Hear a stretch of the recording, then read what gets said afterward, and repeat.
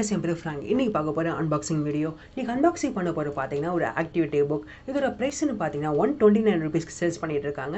இது ஒரு dot to dot activity book பேஜ்னு பார்த்தீங்கன்னா இங்கிலீஷ் மொத்தமாக நைன்டி சிக்ஸ் பேஜஸ் கிட்ட கொடுத்துருக்காங்க.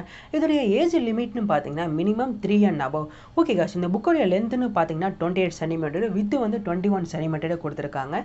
இந்த ஒரு புக் வந்து really good for kids and children புக்குடைய குவாலிட்டின்னு பார்த்தீங்கன்னா டீசெண்டாக கொடுத்துருக்காங்க. அவங்க கிட்ஸை வந்து ஒரு விசைட்ல டைவர்ட் பண்ணுறதுக்கோ இல்லைனா உங்களுடைய அட்டென்ஷனுக்கு கொண்டு வரதுக்கோ இந்த மாதிரியான ஆக்டிவிட்டி புக் வந்து ரொம்பவே ஹெல்ப்ஃபுல்லாக இருக்கும்னு சொல்லலாம்.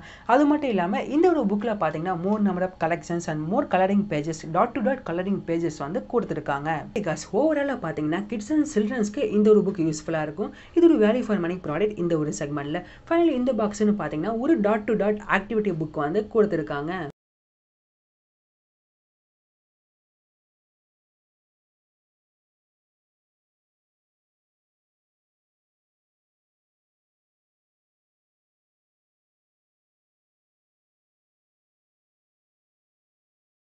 Guys, thanks for watching.